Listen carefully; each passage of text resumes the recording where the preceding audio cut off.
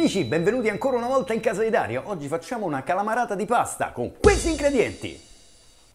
250 g di pasta tipo calamarata, pasta fresca, una scatoletta di tonno da 160 g, una patata da 100 g tagliata finemente, un limone bio, ho utilizzato il succo emulsionato con un paio di cucchiai di olio extra e la scorza, un cucchiaio di capperi, circa 10 g, tagliati a coltello, due spicchi di aglio rosso in camicia, 10 foglioline di menta tritate, del prezzemolo, mezzo litro d'acqua circa, sale, pepe, olio e il nostro Magic Cooker. Procediamo!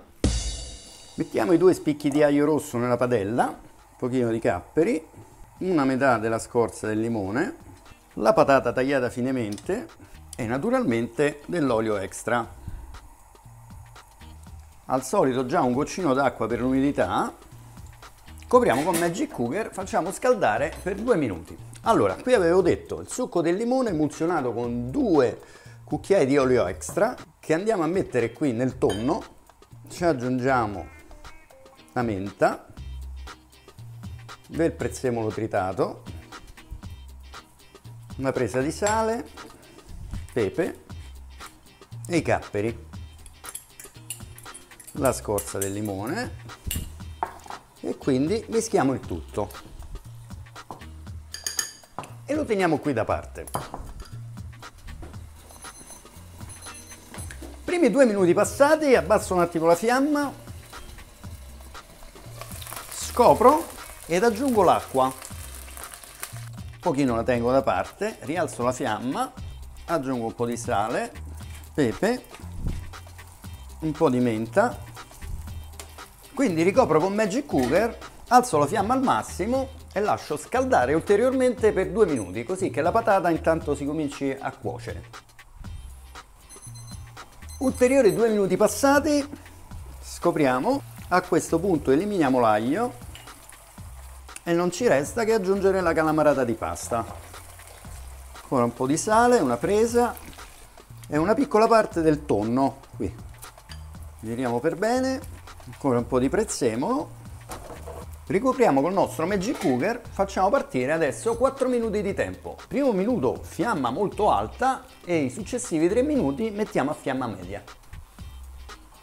Ecco qua 4 minuti passati controlliamo. Giriamo per bene. Aggiustiamo un pochino di sale. Andiamo a inserire il resto del composto. Un pochino teniamolo da parte. Giriamo ancora Copriamo con il nostro Magic Cooker e ultimiamo la cottura per l'ultimo minuto. Benissimo, siamo quasi pronti. Allora, andiamo a controllare.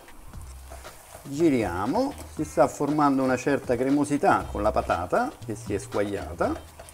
A questo punto mettiamo il resto del tonno, spegniamo la fiamma, diamo una girata, quindi ricopriamo col nostro Magic Cooker, ci spostiamo dalla fiamma e lasciamo riposare il tutto come al solito per un minuto. Allora, minuto passato, scopriamo, giriamo per bene ancora e siamo pronti ad andare nel piatto.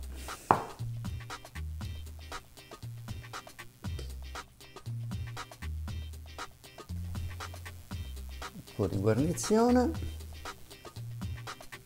ancora un po' di prezzemolino, un pochino di menta, del pepe e un giro d'olio a crudo. Ed ecco pronta la mia idea di primo piatto di oggi, di questa calamarata di pasta con tonno, menta e limone, preparata sempre in poco tempo con il metodo di cottura Magic Cooker.